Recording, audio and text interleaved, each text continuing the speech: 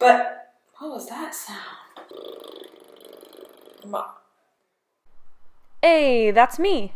Hey guys! So, as we're starting to close in on the season 1 finale of HBO series Westworld, we are finally starting to see some of the characters, the world, and the plot setup come to a peak. With only two more episodes left in the season, everything is really starting to heat up.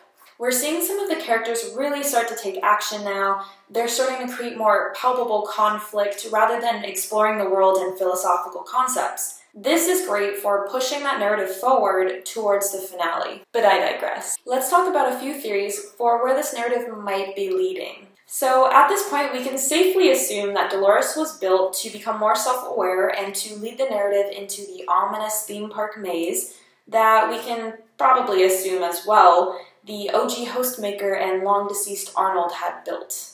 Man, I wish my existential crises were that cool. So I'm thinking that once we get to the start of the maze, we're going to step into another narrative created by the one and only Arnold. So now we have a narrative within a narrative within a narrative, and the rabbit hole goes deeper for our transformative Alice character. Also, doesn't the maze look extremely similar to a human brain? I mean, come on. The first time we see it, the man in black is inspecting it on the inside of a host's scalp. And in the way of symbolism, this is undoubtedly representing the intricate mind of Mr. Arnold. Now this leads us to ask, What's in the center of the maze, though? My theory is that Arnold has somehow uploaded his consciousness, and that would be the big reveal. We haven't really dealt with this theme yet, but it's not completely impossible if Arnold is as genius as they've regarded him so far. How his consciousness could manifest itself, I'm not sure yet, but I'm thinking that maybe it's waiting to be unlocked within Dolores sleeper agent style or within another host. It could be in a chip sitting in an artifact at the center of the maze, but that would be no fun, and the writers we know have a little bit more zazz than that. With Maeve, I don't think she'll be escaping Westworld anytime soon, just because narratively it would weaken the show if we had to follow yet another storyline set outside of Westworld and the company. Sorry, Maeve. Ford, I want to think, is a host made by Arnold just because he's so intelligent and unpredictable and scheming that it seems like he was made to assist with the running of the company and maintaining the integrity of the product if anything were to say happen to Arnold.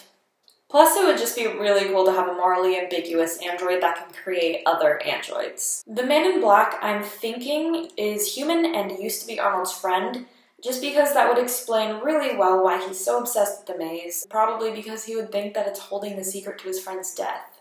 Another theory I have is that the man in black is the actual co creator of the theme park, and that Anthony Hopkins' Ford character is a host created to basically be a placeholder to help the business run smoothly and make sure it, there's no exploitation involved while he essentially solves his friend's death. It's a little convoluted, I know, but how sick would that be, right? Am I right? Am I right? So, those are some of my predictions for where the series might lead. If you guys have any other theories, please feel free to share them in the comments below. And if you like this video, don't forget to subscribe and give it a big thumbs up. Otherwise, I will see you guys next time. And I think to myself, why are you like this?